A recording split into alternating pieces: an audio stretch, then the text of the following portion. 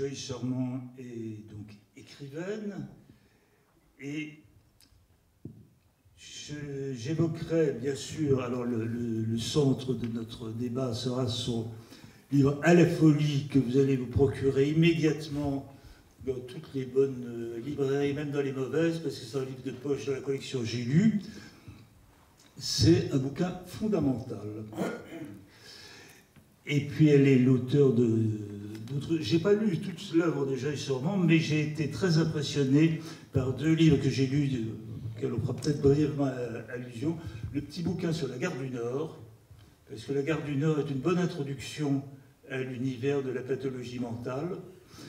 Et euh, un autre bouquin qui est introducteur à je ne sais pas quoi par rapport à la pathologie mentale, qui est euh, comment ça s'appelle? Du, bruit, euh, du, bruit, du bruit, du bruit, du bruit, c'est-à-dire c'est les rapports qu'elle a avec le duo NTM, et c'est un bouquin dont je vais dire le plus grand bien parce que c'est une musique que je ne sais pas entendre, que je ne peux pas entendre, que je ne veux pas entendre. Or, vous me l'avez fait entendre, et vous l'avez fait entendre par la littérature. Et je ensuite très reconnaissant parce qu'il y a une petite fenêtre qui s'est ouverte en moi grâce à vous. Et puis notre ami Emmanuel Venet, qui est psychiatre et écrivain. Alors le psychiatre et écrivain faudrait pouvoir le moduler de tas de façons différentes avec trait d'union, avec sans trait d'union, plus psychiatre qu'écrivain, plus écrivain que psychiatre, et de plus en plus plus écrivain que psychiatre, puisque de toute façon la psychiatrie l'abandonne ou il abandonne la psychiatrie pour se vautrer dans l'écriture.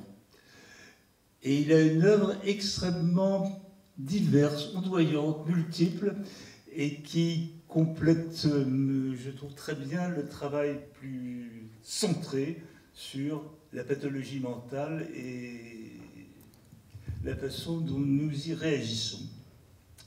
Ma première question, je vais peut-être la poser à Joyce Armand. Pourquoi avoir écrit à la folie et quels ont été les préalables? Comment est-ce que ça s'est noué, cette possibilité d'aller à l'hôpital psychiatrique, d'y passer un vrai temps Comment y avez-vous été présenté? Comme écrivaine Comme euh, Qu'est-ce que ça a été? Et euh, bon, ben allons-y là-dessus. Euh, bonsoir à tous, merci pour votre présence. Hum, donc, le, quand j'ai décidé d'écrire sur la psychiatrie, ce qui est une manière un peu vague de, le dire, il était évident pour moi que ça ne pouvait passer que par l'immersion, c'est-à-dire que je voulais absolument pas écrire un roman, bien qu'il y ait de des morceaux de fiction dans ce livre qui est un récit documentaire, il, contient de la fiction. Mais en tout cas, pour moi, ça ne pouvait passer que par, euh, l'immersion et surtout que par une expérience de la durée. Euh, c'est-à-dire qu'il ne s'agissait pas euh, d'aller faire un reportage dans une unité psychiatrique, mais c'était d'éprouver moi-même cet espace-temps et de voir ce que ça pouvait faire d'abord à ma à ma personne, hein, parce qu'un écrivain est d'abord une personne. Donc euh, euh, ça concernait d'abord ma vie, finalement, avant, avant l'écriture, ça concernait ma vie. C'est-à-dire que je voulais pendant un an aller dans un service psychiatrique, donc voir ce que ça me,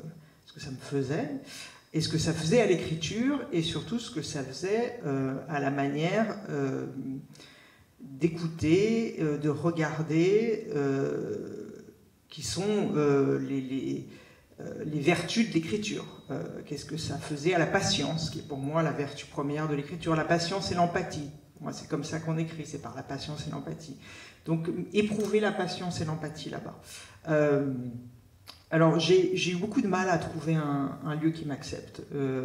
et pourtant, j'ai été recommandé par un psychiatre de Sainte-Anne qui a essayé de me faire entrer dans plusieurs services à Sainte-Anne. À chaque fois, la paranoïa des, chefs de service empêchait mon, accès, euh, avec souvent cette confusion justement entre la littérature et le journalisme, avec l'idée que je venais faire un reportage sensationnel, je venais dénoncer quelque chose, avec l'idée que j'avais un projet critique. Euh, et c'était très compliqué de leur faire comprendre que la littérature, c'était autre chose que ça. C'était faire l'expérience justement d'un temps d'un lieu, faire l'expérience de l'incertitude, parce que pour moi le roman, la littérature est le lieu de, l'incertitude, et, la psychiatrie me semblait être un, très bon endroit pour éprouver cette incertitude.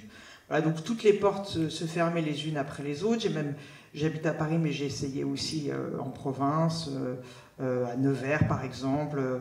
Euh, à Auxerre. Euh, et puis personne ne voulait m'accueillir, il y avait beaucoup de méfiance. Et finalement, j'ai réussi à convaincre un chef de service. Euh, je peux le dire maintenant, il y a, prescription à Villejuif, donc en, région parisienne. Et ça a mis du temps, j'ai eu plusieurs entretiens avec lui, avec l'équipe soignante, j'ai rencontré les syndicats, j'ai rencontré l'administration avec qui j'ai j'ai signé un contrat de confidentialité. Enfin, il y a eu toutes une, des étapes administratives comme ça. J'ai donné mes livres à lire avant parce qu'il disait mais euh, qu'est-ce que vous, vous, ce sera sur quoi votre livre? Je disais ben, précisément je ne sais pas. C'est pour ça que je viens. Je, je, vous le dirai au, bout d'un an. Et il voulait que je leur fasse une espèce de note d'intention. Euh, et donc je leur ai donné mes livres précédents à lire en disant écoutez, à la rigueur, vous pouvez vous décider comme ça. Si, si, mes livres vous, vous, semblent pertinents et vous touchent, euh, accueillez-moi, sinon bah, je, passerai mon chemin. Euh, et, donc j'ai été présenté, donc j'ai été dans une, essentiellement dans une unité fermée avec des cas euh, vraiment lourds. Euh, et, donc j'ai été présenté, je suis allé présenter aux patients avant, et évidemment que je me suis présenté comme auteur. Il était hors de question de, de commencer par un mensonge, de faire croire que j'étais stagiaire, ou voilà, donc j'ai expliqué mon projet. comment c'était reçu ce cette histoire d'une écrivaine qui vient dans le service euh, Par les patients, euh, plutôt bien, euh, parce que, comme je l'explique dans, dans, le livre, sont des lieux où, où l'ennui prédomine, où, où, le temps manque pour parler. ce sont des lieux vides. Et donc, j'incarnais finalement à la fois une, une présence qui venait de l'extérieur, donc une espèce de une espèce de fenêtre qui, s'ouvrait. Je venais avec du temps, c'est-à-dire que je venais tous les mercredis, je n'avais rien d'autre à faire que, d'écouter, que de parler. Donc euh, finalement pour eux c'était plutôt euh, agréable, c'était le, voilà, le, petit événement du, mercredi. Et je pense que l'idée du, livre était finalement assez abstraite. Ce qui, qui, qui les intéressait, c'était ce corps étranger. Et puis, alors il y en avait qui ne voulaient pas me parler, euh, qui, voilà, je, restais à distance de certains. Euh, d'autres euh, me parlaient volontiers. Euh, et, puis, et puis certains, quand même, au fur et à mesure, me disaient mais, mais ça va parler de quoi? Mais est-ce que je serai le héros de ton livre? Est-ce que je serai un personnage? Avec l'idée justement que la littérature, ce sont des héros, ce sont des personnages, voilà, et, que eux pourraient devenir ces, ces, personnages de fiction. Après, avec le personnel hospitalier, ça a été plus compliqué d'être accepté parce que j'étais quand même euh, celle qui vient, qui vient traîner dans leurs pattes, euh, qui assiste à des choses pas forcément euh, très dignes, et, qui pourrait être animée, je les comprenais, qui pourrait être animée de mauvaises intentions, parce que j'ai beau arriver en disant je, suis animé de bonnes intentions, ils ne sont pas obligés de me croire. donc il y, y, avait de la, de la méfiance chez certains, et chez d'autres, il y avait aussi, vous voyez aussi en moi la possibilité de dire leur souffrance à eux, leur souffrance au travail. Euh, euh, donc voilà, mais ça s'est passé là-bas comme ça se passe dans, dans la vie en général. C'est-à-dire qu'il y en a qui deviennent des amis, d'autres pour qui on a plutôt de l'antipathie, et puis, euh, et puis on, a compagnonné comme ça pendant, pendant un an. des liens se, sont noués avec certains, et avec d'autres, c'était plus compliqué. Une des choses euh, très réussies dans euh, l'écriture de ce livre, c'est votre usage du je. Puisqu'on ne sait jamais, commençant un paragraphe, si c'est je, euh, l'auteur en train d'écrire le livre, ou le je, patient ou soignant, qui dit quelque chose de sa vie et de ses malheurs en général. Et cette incertitude sur le je donne, me semble-t-il, quelque chose de très tonique à l'écriture de ce livre. Bah, je vous remercie de le relever parce que c'était très important pour moi. Euh, comme le livre, euh, au, début, je voulais pas apparaître dans, le livre. Je voulais pas prendre la parole. Et puis, je me suis rendu compte que ça n'était pas possible, ça n'était pas juste d'ailleurs, ça n'était pas honnête, puisque ma présence perturbait nécessairement les choses, que, que ma présence faisait que les uns et les autres parlaient différemment, que j'étais pas une espèce d'observatrice qui regardait derrière une vitre, que je, je passais du temps avec eux, à m'ennuyer avec eux, à manger avec eux, à fumer avec eux. Donc je faisais à un moment partie de l'affaire. Et donc il a... S'ennuyer avec eux, manger avec eux, c'est ce que ne font pas les soignants. S'ennuyer avec eux, si. Ils ont, malheureusement, ils n'ont même pas le temps de s'ennuyer, les, les, soignants. Si, par bonheur, ils avec eux, ne le font. Non, ils le font. Alors à la borde, les soignants mangeaient avec. Les... Oui, mais là, on n'était pas dans la psychothérapie institutionnelle, malheureusement. On était dans une, psychiatrie beaucoup plus. Euh, euh, de la rentabilité euh, beaucoup plus agressive. Et, donc, je, à partir du moment où, mon jeu est, entré en, scène, j'ai voulu mêler ma parole à celle des patients et des soignants, mais sur une espèce de plan d'immanence. Alors, c'est peut-être un peu naïf de croire que la littérature peut rétablir de, l'égalité, mais en tout cas, elle peut rétablir un peu de latéralité, un peu d'immanence dans l'espace réduit d'un livre. Et c'est vrai que dans, ce lieu très hiérarchisé qu'est l'hôpital, en particulier l'hôpital psychiatrique, euh, je, trouvais que, que cette espèce de jeu euh, qui glisse de la parole d'un patient à la parole d'un soignant à la mienne, qui raconte des, histoires euh, sur, voilà, sur une espèce de, plan horizontal où, on, partage cet espace commun qu'offre le livre à un moment donné, ça, me paraissait euh, à la fois juste sur ce que ça racontait de la situation, et puis ça me paraissait être un, le petit geste politique euh, du livre. Et c'est vrai que comme je, on entend beaucoup la parole des, patients, des soignants, et, parfois moi je, me glisse dans, cette parole euh, parce que voilà, j'étais avec eux et qu'il était très important, évidemment, j'avais très peur de ça, d'éviter le surplomb, d'éviter le sensationnalisme, d'éviter le romantisme, euh, et, le jeu me, permettait justement de coller un peu plus à la situation. Le livre se construit avec prudence, je dirais, puisque c'est à partir de toute une série d'histoires singulières que vous construisez, que quelque chose se construit, plutôt par un, ou se met en réseau, ça peut être une expression plus juste, puisque on voit des personnes, il y a un retour de certains personnages, d'autres n'apparaissent que pour deux pages et disparaissent. Et euh, j'ai beaucoup apprécié la façon dont justement un univers se construit à partir de, ces micro-histoires. Et tout à coup, il y a un édifice qui, apparaît et qui n'apparaissait pas au premier coup d'œil.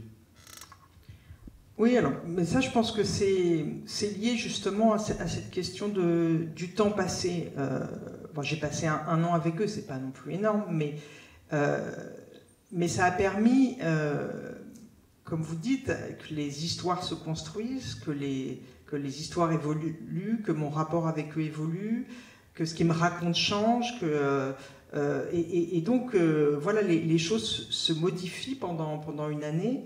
Les, les, figures reviennent et, ce que j'ai voulu aussi mettre en avant, c'est dans, dans, ces portraits, euh, sont des, questions adressées aussi à la psychiatrie et que, finalement chaque portrait adresse aussi une question.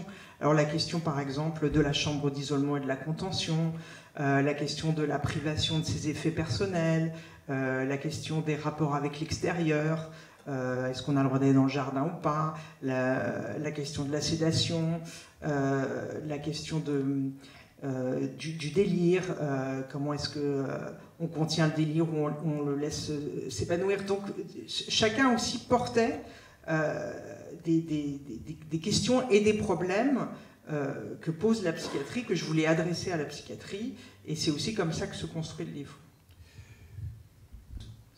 L'univers des salons chez Proust, tout se joue dans des micro-différences entre les marquises et les duchesses. La duchesse depuis trois générations, celle qui ne l'est depuis une génération. Euh, une faute de langage vous précipite dans l'enfer des innommables. Euh, un geste peut-être dramatique ou pathétique. Et euh, par exemple, toucher, toucher la main d'un malade, c'est parfois très bien et parfois pas bien du tout un mot peut avoir des effets dévastateurs ou au contraire régénérateurs. Et j'ai trouvé ça d'une finesse euh, passionnante. Et euh, m'aperçois que beaucoup de grands livres de notre littérature se sont écrits à partir de cette mise en place des micro-différences et dont on s'aperçoit qu'elles engagent des domaines euh, très vastes. Et finalement, c'est toute la structure sociale qui finissent par se révéler dans ce microcosme. Oui, mais je, pense que la littérature est, l'art du détail, précisément. Euh, et que c'est ça qui est assez merveilleux dans cette forme-là, dans cette forme narrative, euh, c'est qu'on prend le temps, euh, qu'on prend le temps du détail. moi, ce qui, ce qui m'intéresse dans l'écriture, c'est précisément, c'est précisément le détail. Et, je pense que c'est un lien qu'on pourrait faire d'ailleurs avec la, psychiatrie au sens au sens noble, avec le soin au sens noble, comme vous pouvez le pratiquer la, psychothérapie institutionnelle. Euh, c'est Uri qui le disait et d'autres que le, soin se niche dans les détails. Euh, et je pense que la littérature se, niche dans les détails. La littérature est, le, lieu de la parole à, ras des choses, de la, parole de la, précision et de la, lenteur contre les généralités. Euh, voilà, donc ça me semble être euh, le sel même de, l'écriture, cette affaire de détail. Vous avez écrit, me semble-t-il, quelque chose à quoi rêvent euh, certains écrivains, c'est d'écrire un roman total, un roman qui dirait tout, enfin, ou le maximum de choses, bien sûr, dans X centaines de pages. Là, vous avez réalisé, me semble-t-il, un tour de force en 200 ou 300 pages, je ne sais pas combien ça fait, c'est un livre de format ordinaire de dire quelque chose où le tout de la société finit par se dire.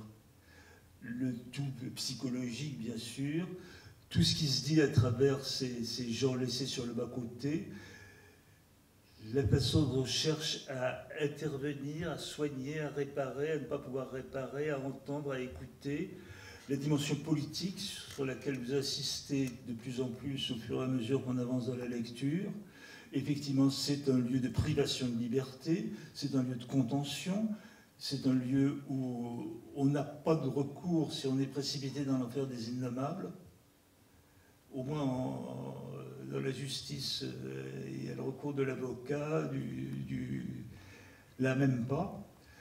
Euh, c'est une richesse de, de sensations et d'impressions que vous faites venir que j'ai trouvé très très impressionnante.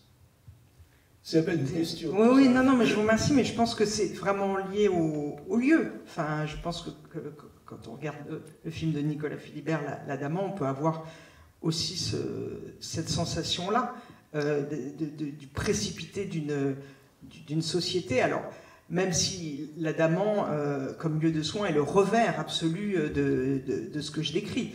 Euh, mais il s'agit de psychiatrie dans, dans, les deux cas, et il s'agit de communauté dans les deux cas, euh, de communautés, enfin voilà, d'individus qui vivent ensemble euh, sans nécessairement l'avoir voulu. C'est ça qui est assez aussi, je trouve, très passionnant à, regarder. C'est-à-dire que les gens qui sont, même sur, euh, sur, l'Adamant, même s'ils ne sont pas hospitalisés sous contrainte comme dans mon livre, mais sont des gens qui viennent intégrer une communauté avec d'autres qui n'ont pas forcément choisi, euh, et, comment fonctionne cette, communauté? je pense que les lieux de, psychiatrie sont, passionnants pour étudier ces micro-sociétés dont, vous parlez, ces espèces de modèles réduits euh, de, la, folie humaine euh, dans, au, sens le, plus inquiétant et le plus beau du terme aussi. donc, je, pense que c'est pas c'est gentil de mettre ça sur le compte de mon talent, mais je pense que c'est vraiment le, lieu qui, qui induit ça. Cher Emmanuel, ce qui est très intéressant dans ton parcours, c'est que tu as abordé la question de la maladie, la maladie mentale, euh, par des biais extrêmement différents, puisqu'elle précise médecine imaginaire, où il raconte la maladie vue depuis euh, les, les, marchés, les bonnes femmes qui bavassent sur le marché se racontent les histoires familiales de, de cancer et autres, cancers réels ou imaginaires. Et puis, euh, différents textes où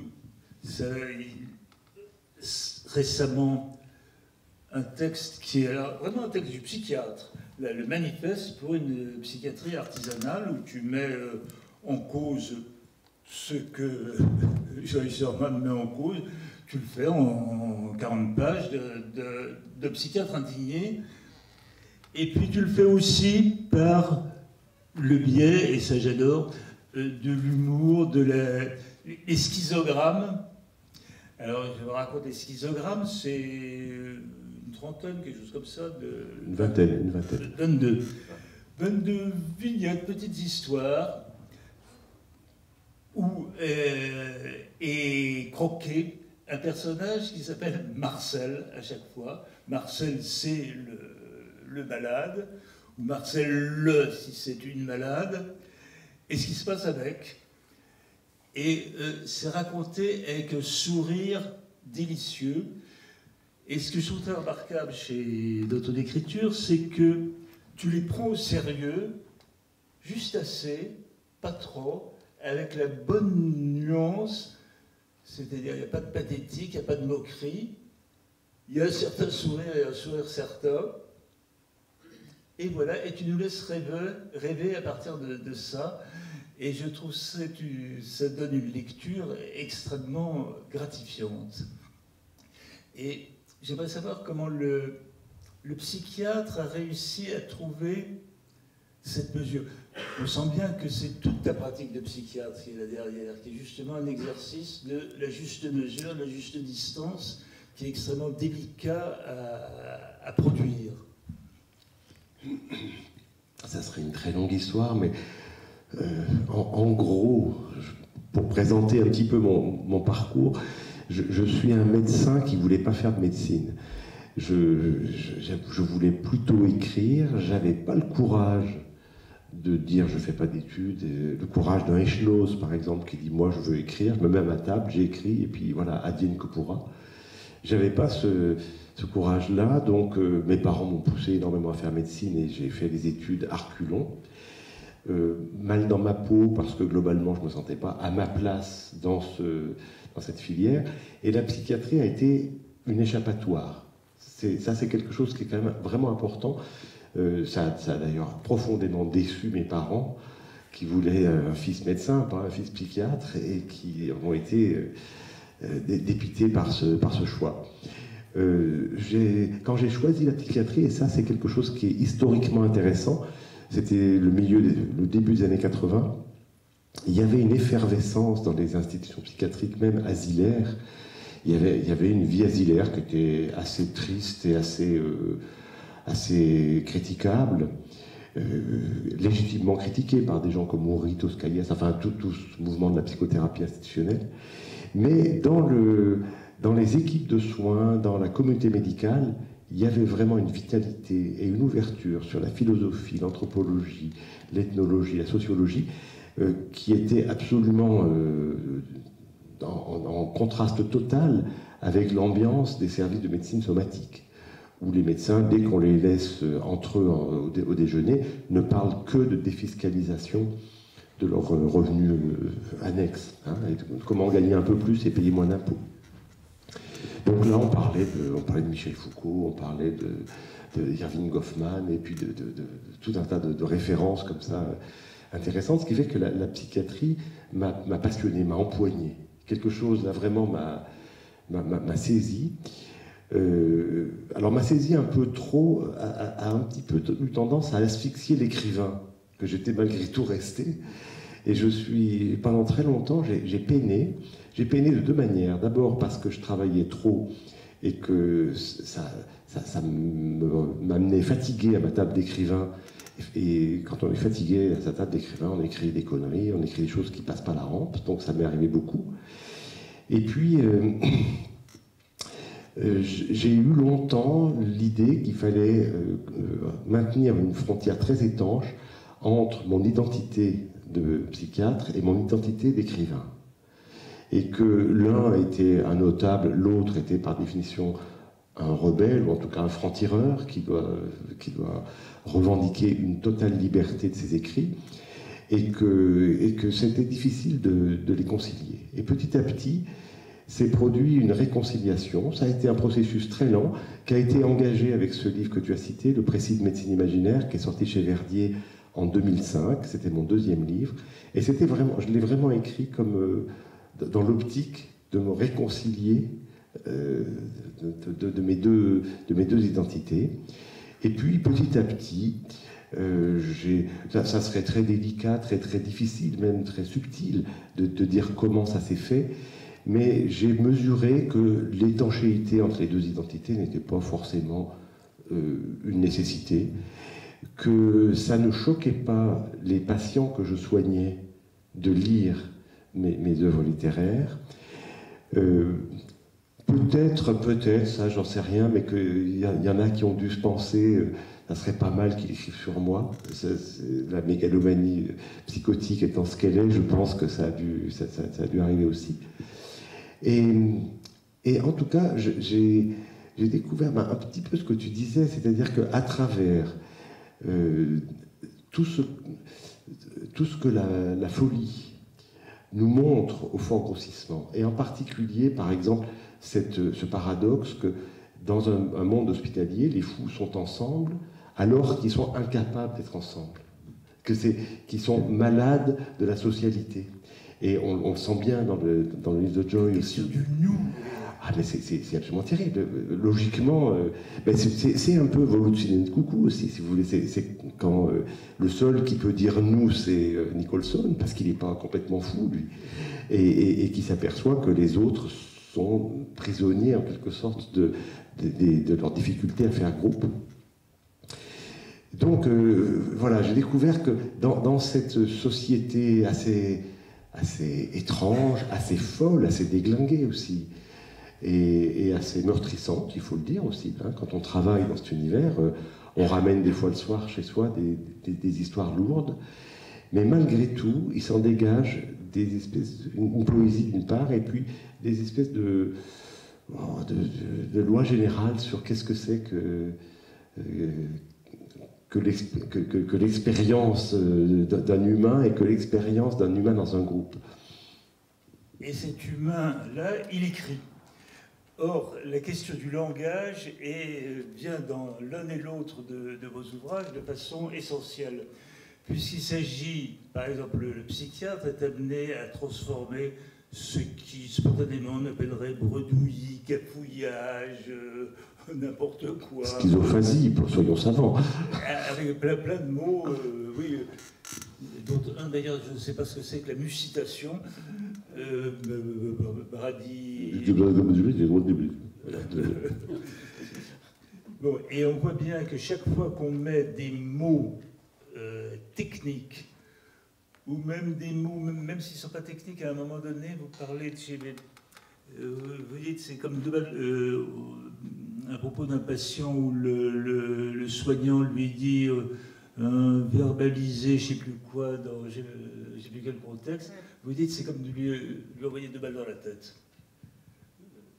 Oui. Parce qu'effectivement, ce n'est pas les mots qu'il faut. Et continuellement, cette question du langage, les mots qui sonneraient justes, lesquels, comment, il faut bien un langage technique pour nommer, et ce langage technique est, tueur. On ne peut pas en rester au produit non plus. Alors quoi La littérature euh, au milieu. Essayer de, oui, de transformer ça. Alors, je vais, euh, je vais, peut-être faire une petite anticipation sur, la, sur la, projection du film, sur le film. Je ne sais pas, Nicolas, si on vous l'a déjà dit, mais moi, il y, a une scène qui me paraît extrêmement forte emblématique de ce qu'est la fonction soignante en psychiatrie. Euh, je, m'appuie sur l'œuvre d'un psychanalyste très original qui s'appelle Wilfried Bion.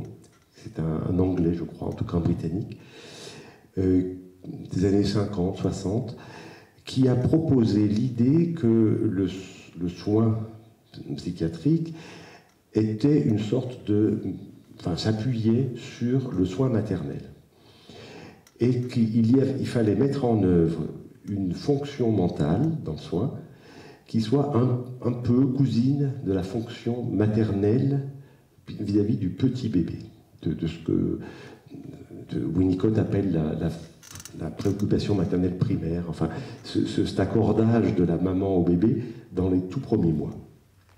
Et alors, cette fonction maternelle, il l'appelle fonction alpha, et il propose une théorisation, c'est une théorie, hein, c'est pas du tout une réalité, mais c'est un modèle pour essayer de rendre compte de, de l'observation, que le bébé, ne sachant pas symboliser, ne sachant pas euh, penser ce qu'il, euh, ce qu'il vit, en particulier ce qu'il vit de douloureux, de désagréable ou d'angoissant, euh, projette des contenus de pensée qu'il appelle bêta dans sa, terminologie, les projette à l'extérieur. C'est, des contenus de pensée impensables. La mère les accueille et la fonction maternelle, qu'il appelle fonction alpha, consiste à transformer ces contenus de pensée impensables en contenus pensables et à les restituer à l'enfant.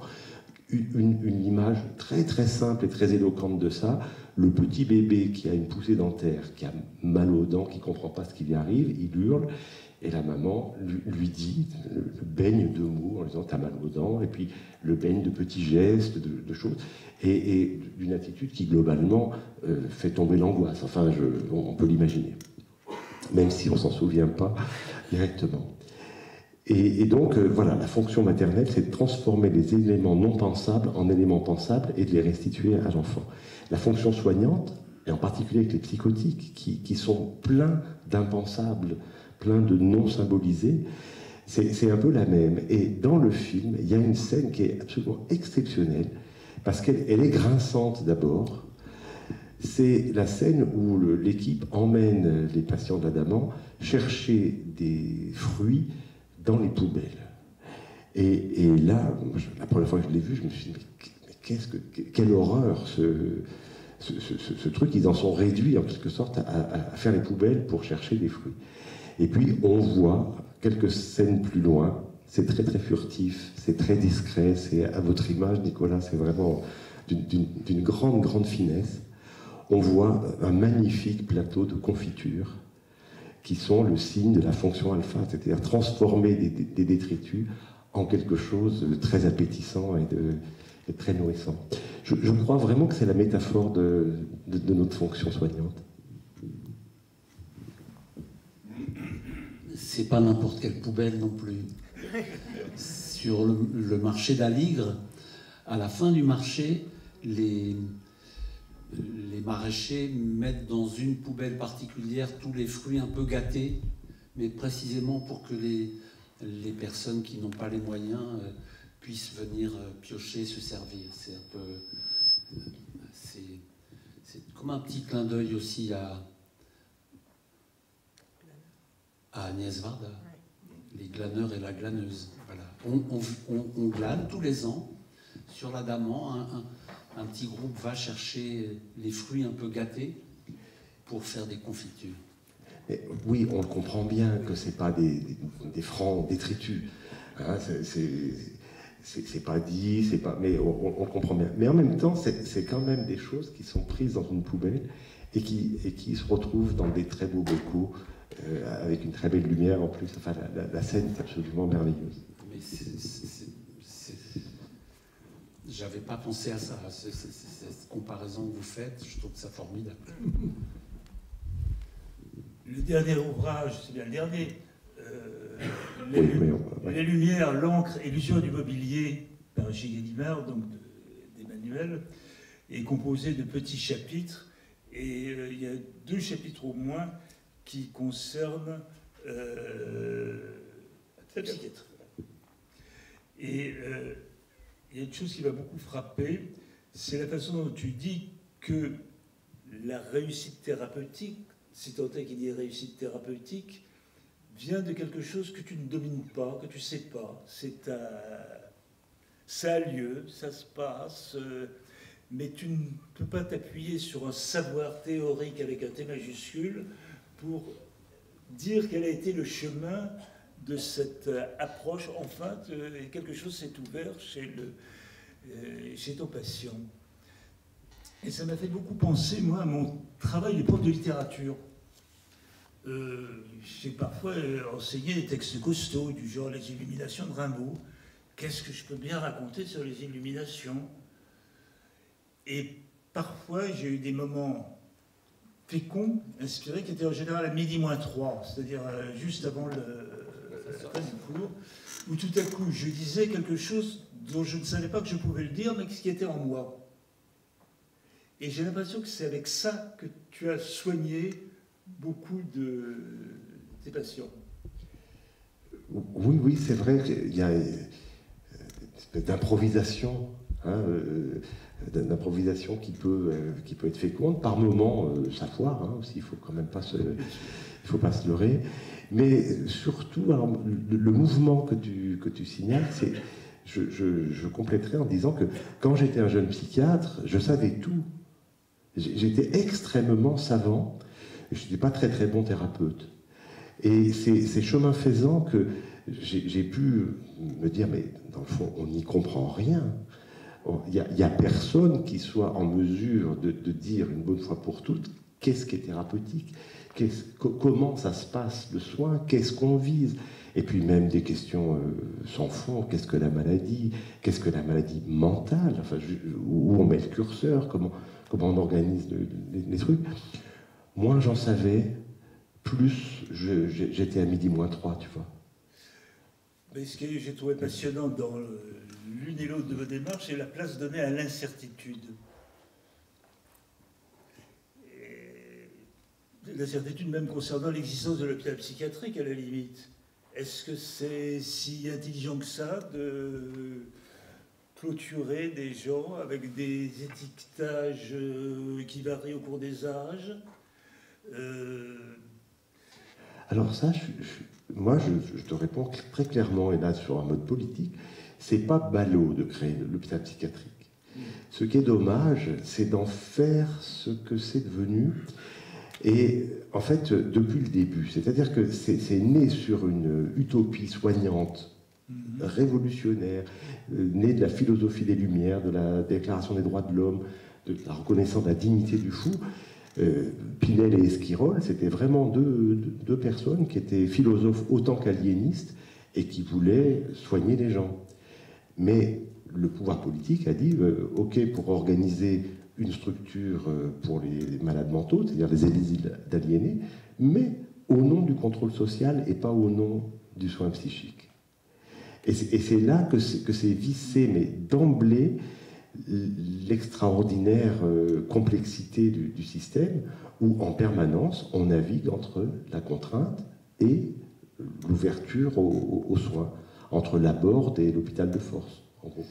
J'aimerais faire réagir à une phrase de Foucault que j'ai piquée dans le remarquable livre qui s'appelle Mes fous de Jean-Pierre Martin, qui est drôle, passionnant. Euh, c'est la galerie des fous qu'il rencontre au jour le jour, euh, dans sa famille, près de lui, dans la rue. Euh, c'est un bouquin merveilleux.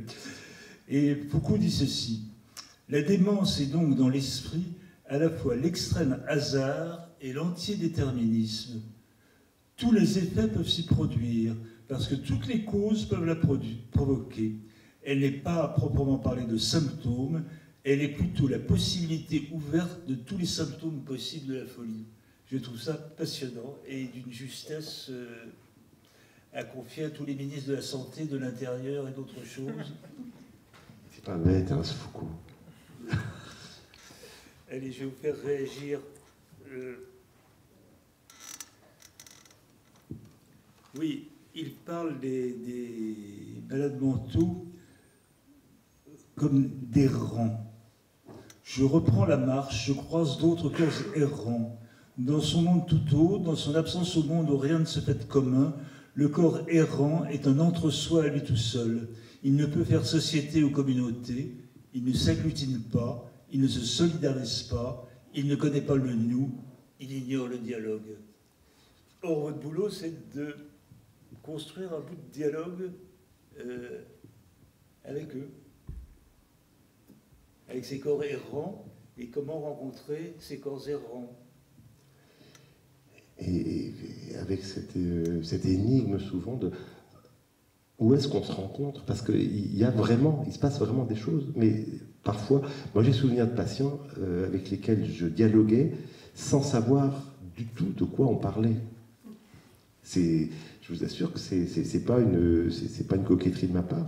Je me souviens d'un qui m'a dit Est-ce que vous trouvez normal qu'il y ait des moments à moi qui circulent au foyer? Vous pensez qu'on vous vole du temps? Mais non, pas du tout. Euh, je vous dis qu'il y a des moments à moi qui circulent au foyer.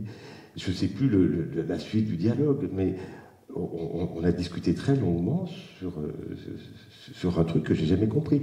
Ou dans Schizogramme, là, j'évoque celui qui, a été suicidé par, par son père et qui cherche son assassin. Et donc il est mort, il est en face de moi, et on discute de sa recherche de son assassin. Et ça ne le gêne absolument pas. Enfin, il n'y a aucune, aucune contradiction dans, ce propos. Et il accepte tout à fait qu'on lui donne un traitement par piqûre pour euh, faciliter sa quête. Alors, ce qui est merveilleux dans, la façon dont Arthur Emmanuel euh, aborde la folie, c'est qu'il ne manque pas une occasion d'en tirer un sourire certain de s'amuser avec tout ça. Un exemple parmi cent mille. Comme je demande à Marcel si ses parents sont vivants, il me répond que oui, mais précise que son père est mort et que sa mère est décédée. Devant ma mine perplexe, il ajoute que son ancienne psychiatre est morte pendant 24 heures et qu'il ne demande qu'à la rejoindre. C'est peu dire qu'il parle couramment le schizophrène. Des, passes comme ça, il y en a. Je, la façon dont il résout un cas difficile, je ne sais plus où je l'ai collé. Oui. Bon, un type va se coller sur un lieu, dans un lieu dit qui s'appelle Reculfort. Il décide de se coucher sur la chaussée au sortir d'un virage. Bon, Dieu merci de y sentir. Comme je lui fais part de, mon analyse des risques encourus, il se rebiffe et s'exclame sur le ton de la dignité trajet mais enfin, je ne suis pas dans un rapport qui est adule à la maniaquerie. Bon. Et puis, quelques temps après, il, explique euh, tu as une difficulté euh, verbale, relationnelle avec lui, et il dit jusqu'au jour où, comme il m'explique qu'il n'est pas le fou pour lequel je le prends, je suis frappé d'une illumination. C'est vrai, lui dis-je, que vous, vous n'êtes pas dans un rapport qui adule à la maniaquerie. Interloqué, Marcel Bastille, comment le savez-vous? J'ai voulu, je lui répondre que c'est lui qui me l'a dit, après quoi, enfin reconnu dans sa singularité, il retrouve la confiance et la paix de l'âme. Comme chacun, sans doute. Euh, profite au passage pour cueillir le mot singularité, puisqu'effectivement, ce qui est passionnant dans cette histoire de la folie, c'est que c'est à chaque fois des histoires éminemment singulières, qui s'écrivent dans un langage singulier, une gestuelle singulière, un paroxysme singulier, et qu'il faut essayer de trouver l'approche de cette singularité dans le respect de cette singularité. Et effectivement, si euh, quelqu'un est fou dans une singularité acceptable, eh ben, pas trop intervenir. Ah ben, c'était la grande question, tu sais, entre Ferdière et Artaud, puisque avant d'être le psychiatre d'Artaud à, Rodez, Ferdière avait été sollicité par des amis surréalistes qui connaissaient Artaud, qui le voyaient délirer, et il avait commencé par dire si c'est beau, euh, laissez-le. Si, son délire est beau, hein, c'est ça que ça voulait dire. Si c'est beau, laissez-le. Et, puis ensuite, il n'a pas réussi, lui, euh, à s'imposer ce, précepte et il a, fait des électrochocs et, un certain nombre de choses qui l'ont mis en conflit avec Artaud. Mais oui, effectivement, c'est un, ben, un apprentissage patient d'une de, grande délicatesse relationnelle ce, métier, en, particulier avec les grands fous. Et, et avec ces, grands malades qui sont dans leur monde, qui sont prisonniers de leur monde, et à qui, ben, euh, spontanément, c'est pas la délicatesse qui s'impose chez l'entourage. C'est plutôt euh, le rejet, c'est plutôt l'ostracisme, enfin des choses comme ça. D'où on peut regretter que la formation des psy quelque chose ne passe pas par un apprentissage long, précis, fin de la littérature, de l'apprentissage des mots dans leur singularité, et ce que la littérature dit à chaque fois du singulier des êtres. Et c'est d'ailleurs ça ce qui rend l'enquête psy si passionnante, c'est de savoir comment arriver à entendre cette singularité. Toi, tu as une image que j'aime beaucoup, c'est celle du paysage. Prendre conscience, tu vois euh, un fou débarquer dans ton bureau, et tu dis, mais j'y vais prudemment, comme dans un brouillard, je cherche à, deviner quelle est la, singularité du, paysage mental. Une scène de théâtre, tu sais. Je, vois plutôt une scène de théâtre, avec des accessoires, je ne sais pas à quoi ils servent, je ne sais pas ce qu'ils vont donner, comment ils vont se transformer. Et c'est ça que je dis, tu vois, c'est un lever de rideau. Et puis je, regarde, j'explore ça euh, visuellement.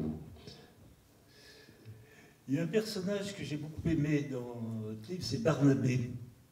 Barnabé le sage.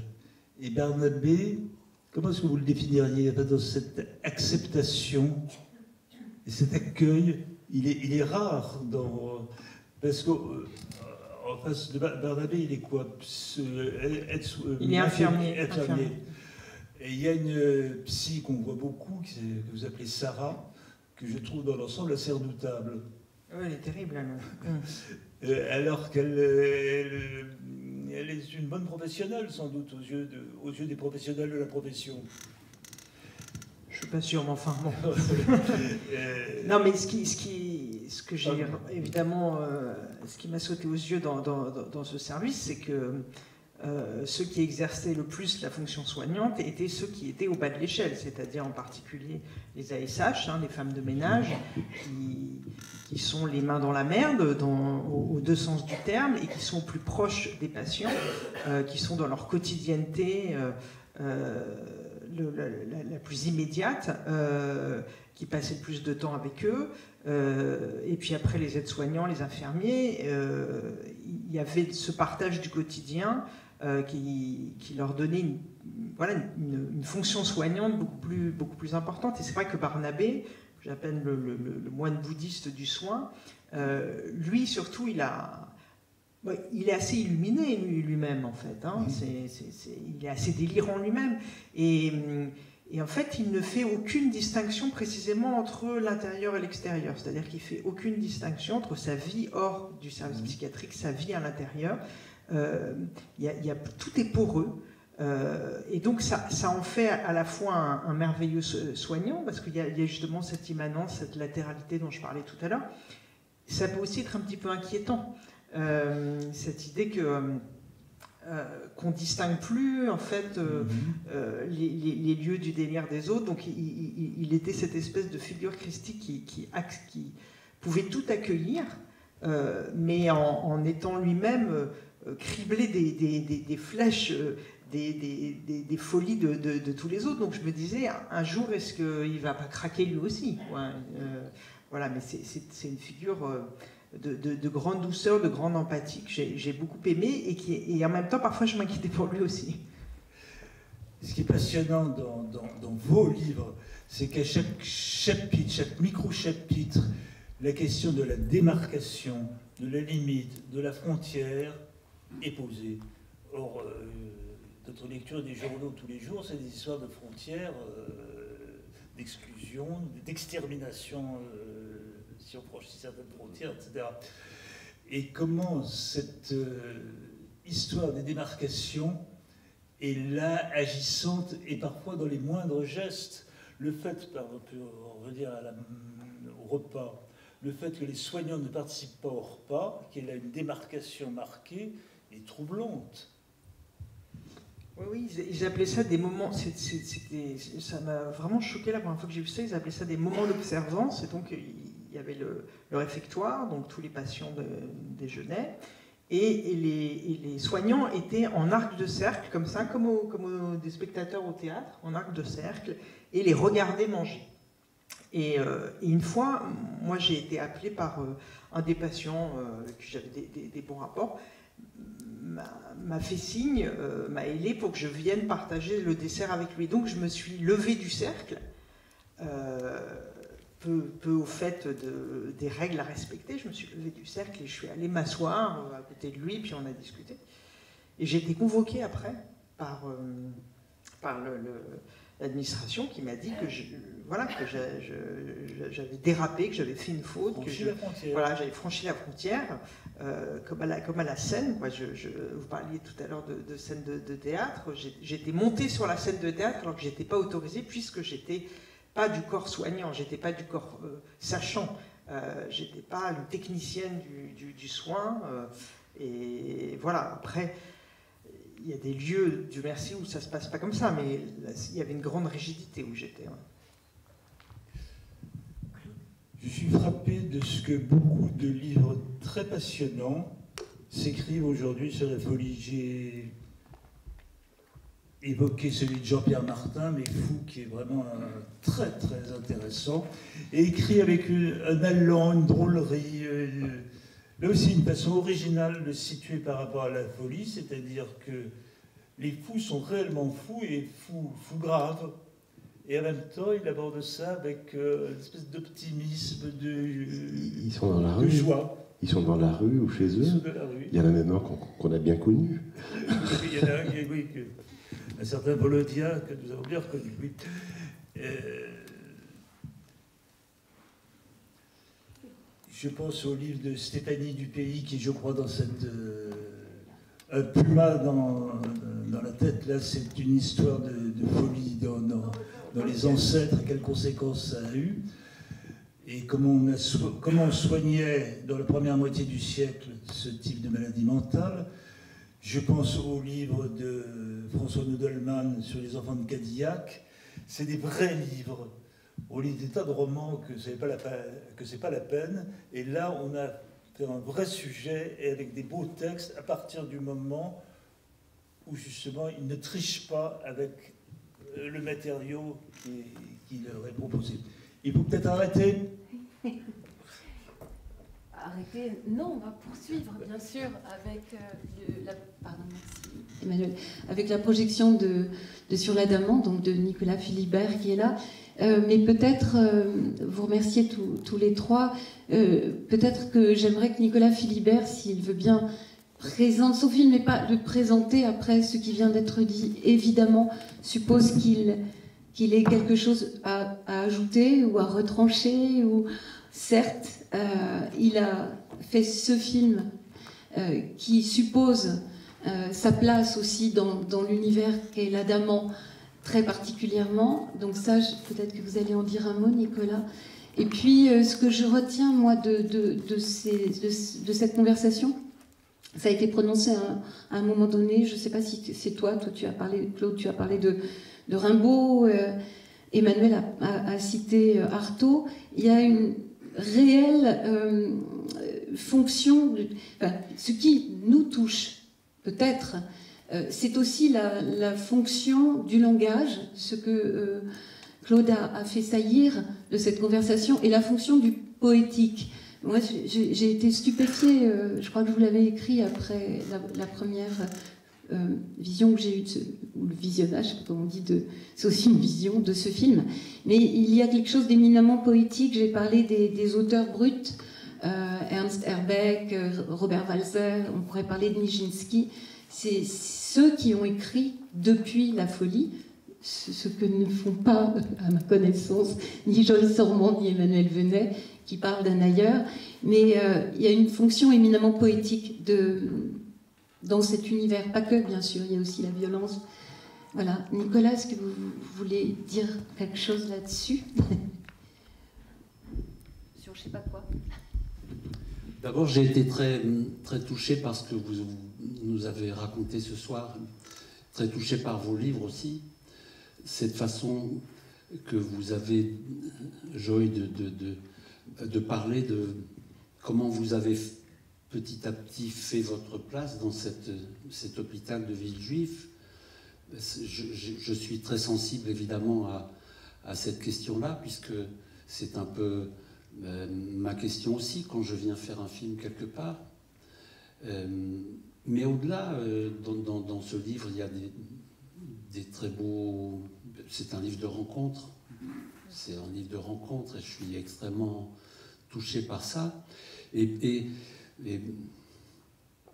dans ce que vous dites, Emmanuel, de votre comment progressivement vous avez un peu lâché pour vous mettre à improviser. C'est quelque chose qui me touche particulièrement parce que ce film que vous allez voir, c'est un film euh, qui est très, très improvisé. Au fond, euh, je vais en dire quelques mots de ce, lieu, mais euh, plus j'avance et plus pour moi l'improvisation est une nécessité. Et pour reprendre, c'est une nécessité éthique. C'est-à-dire que c'est certainement pas un film que j'ai fait en, arrivant dans une position de sachant, de savant, de celui qui sait ce qu'il faut faire, ce qu'il doit filmer, etc. Euh, euh, qu'est-ce qu'il faut dire? Quel est le Est-ce que donc le film n'est pas précédé ni d'un plan de travail, ni d'un programme, ni d'un vouloir dire. Il n'y a pas cette idée que euh, je, voilà ce qu'il faut dire sur la psychiatrie aujourd'hui, sur, ce lieu, la Daman. C'est tout le contraire. Et je, dis souvent, un peu comme vous, quand je me lance dans un projet, moins j'en sais, mieux je me porte. Parce que ce qui est mon moteur, c'est la curiosité, c'est l'envie d'apprendre, c'est l'envie d'aller à la découverte de, ce lieu, des gens qui, sont là, et, à travers eux d'en savoir un peu plus sur euh, ce que je fous là, au fond, qui est la question d'Ouri.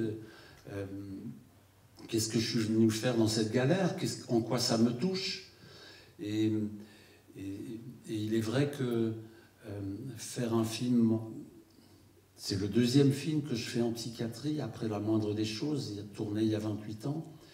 Euh, pourquoi avoir voulu revenir en psychiatrie, refaire un film en psychiatrie? Probablement parce que chez les personnes qui sont là, chez ces passagers de la Daman.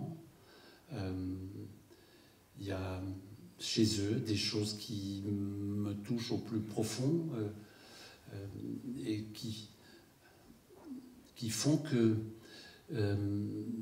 nous avons ici et là des, des points communs. Bien souvent, ces patients sont des gens extrêmement hypersensibles, très poreux, qui ont une je trouve, une grande porosité au monde et en même temps ils sont fermés, comme vous avez dit, ce, dont ils souffrent, c'est de, ce lien aux autres, du, lien au monde. Euh, et c'est ça que cette psychiatrie qui essaye de rester digne d'elle-même essaye de, de, de faire aider chaque, essayer d'aider chacun à retisser un lien avec, avec le monde, et peut-être déjà avec soi-même, relever la tête, croire un tout petit peu, euh, retrouver du désir pour quelque chose, peut-être. Euh, on a, vous avez évoqué la, la question du, de la communauté, moi je dirais plutôt du collectif, parce que c'est plus ça. Sur, sur l'Adamant, il me semble que c'est davantage un collectif, ça fait un peu un peu fermé. Euh, euh, communauté, pardon, ça, ça, ça, sonne pour moi comme quelque chose d'un peu fermé sur soi. Collectif, c'est différent. Et dans ce collectif soignant, le collectif a une fonction thérapeutique, il me semble, dans un lieu comme, comme l'Adaman. Euh,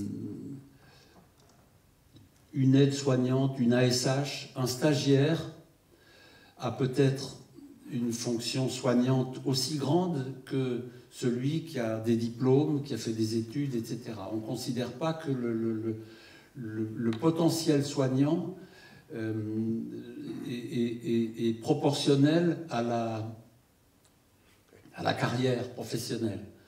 Un type qui est là, stagiaire, peut avoir peut-être un, rapport magnifique, une relation euh, avec tel patient, et, et, pourvu les uns et les, soignants, l'équipe se réunit régulièrement pour faire circuler les choses, alors pourquoi pas Pourquoi pas euh, Voilà, donc voilà, vous allez voir un film qui vous invite à monter à bord d'un lieu euh, qui est assez singulier dans le champ de la psychiatrie, l'Adamant. L'Adamant, c'est un c'est pas tout à fait un bateau parce qu'il ne navigue pas, mais c'est une structure flottante qui est amarrée près de quai de la Rapée, près de la, gare de Lyon.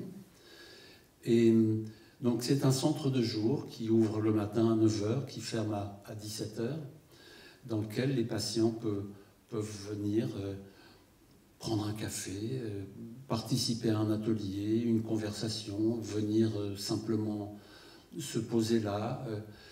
C'est un lieu qui est donc assez, de par la proximité de l'eau, qui, est, assez apaisant. Hein.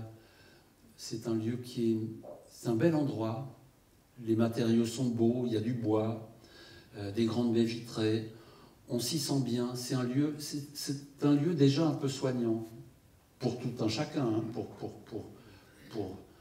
euh, celui qui vient là, celui qui pour les soignants, pour euh, ceux qui... C'est un lieu ouvert beaucoup de lieux de la psychiatrie sont fermés. Celui-là est un lieu, c'est vraiment un, lieu ouvert, ouvert sur la cité, ouvert sur, le, sur le monde. On y invite des gens, une, écrivaine, euh, un architecte, un cinéaste avec sa petite équipe pour y tourner un film. Euh, c'est un lieu d'accueil. Quand on en ressort pour rentrer chez, toi, chez soi, on est frappé de voir combien la ville est trépidante, agitée, agressive. Euh, euh, c'est vrai, Paris, c'est terriblement agressif. Les gens courent partout. Sur l'Adamant, c'est quand même, un endroit où on essaie un peu de se parler, de s'écouter. C'est pas mal. C'est pas mal. on ne sait pas qui est qui, il n'y a pas d'uniforme, ni de blouse blanche, ni de. Voilà. Euh, et en effet, l'équipe essaye, essaye, aujourd'hui c'est difficile, le, paysage de la psychiatrie est vraiment dévasté, mais essaye de continuer à faire une, pratique, je dirais, une pratique, une, psychiatrie humaine, une psychiatrie euh, un peu sur mesure, comme ça. Euh, ça ne veut pas dire que c'est un lieu, j'en ai presque fini, ça ne veut pas dire que c'est un lieu unique ni extraordinaire. Il y a plein de, heureusement, plein d'équipes qui continuent à, se battre pour essayer de travailler dignement. C'est de plus en plus difficile, la pression économique, le poids du management, beaucoup d'infirmiers désertent parce qu'ils ne peuvent pas exercer leur, leur métier euh, comme ils l'entendent, convenablement, être, à l'écoute des, des, patients. Vous l'avez bien dit. Euh, mais donc il y a encore heureusement des équipes qui travaillent comme ça. Mais ce qui est tout à fait particulier avec l'Adamant, c'est cet endroit. Cet endroit est, cet endroit est très, très beau, très ressourçant, très, très accueillant. Voilà. Euh, oui, oui, bien sûr. Et aussi, vraiment dans le fil de, notre échange, là, le, monde psychiatrique est un monde où les fenêtres ne font que s'entr'ouvrir de peur qu'on se défenestre, où les miroirs sont en plastique de peur que les gens les cassent pour se brider les veines, où on prend les rasoirs à l'entrée, où on prend éventuellement les ceintures, etc. Sur l'adamant, visiblement, personne ne se soucie du risque de noyade alors que les coursives donnent sur la scène et qu'effectivement n'importe qui peut se jeter à l'eau à n'importe quel moment. C'est vraiment quelque chose qui me semble très important à dire, qu'il n'y a aucune visée sécuritaire. C'est une psychiatrie qui n'est pas sécuritaire et que justement, si les gens ne se foutent pas à l'eau, c'est autre chose qui les protège que des mesures comme ça déshumanisantes de pas ouvrir les fenêtres ou d'avoir des miroirs qui ne se cassent pas. Voilà, pour, terminer, je voudrais. On, parlait de, tout à l'heure de Jean Houry et de Marie de Puissé, qui ont co-signé un livre qui s'appelle À quelle heure passe le train? Et je voudrais vous lire trois phrases.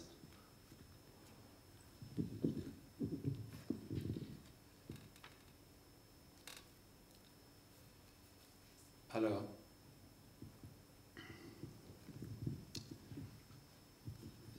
c'est Jean Aubry qui dit Ma question, qu'est-ce que je fous là? Reste sans réponse, c'est sa vertu. Je suis là depuis un demi-siècle, je ne peux même pas dire pourquoi. Il y a ceux qui savent pourquoi ils sont là. Je les appelle les savats. Ils savent pourquoi ils sont là, mais ils ne sont pas là. Ils ne peuvent accueillir personne. Ils sont trop pleins de ce qu'ils croient savoir pour remplir la fonction sans laquelle il n'y a pas de psychiatrie, la fonction d'accueil. Il y a les autres, les ça ne va pas de soi. Avec cela, on peut travailler. Quant à l'étonnement, c'est une qualité exigible de tout travailleur en psychiatrie, qu'il soit étonné, parce que l'étonnement autorise la rencontre, la surprise de la rencontre, le hasard fait le tissu d'une rencontre. Et Marie de Pucé ajoute On rencontre les fous si on laisse une chance au hasard, en obéissant à une logique particulière, la logique, abductive qui inclut le hasard. Ça renvoie bien à ce que vous disiez aussi. Hein et ça, renvoie à mon travail aussi de ce film dont je dis que pour le faire, je me suis littéralement abandonné au hasard. C'est-à-dire que j'ai essayé de me, non pas d'arriver comme quelqu'un qui savait quoi faire, mais comme quelqu'un qui, qui avait la conviction que dans ce lieu, il se passe des choses, et que mon travail, c'était si je voulais que des rencontres puissent avoir lieu, il s'agissait pour moi de, d'essayer de me, mettre au diapason pour, euh, au fond, euh, recueillir quelque chose.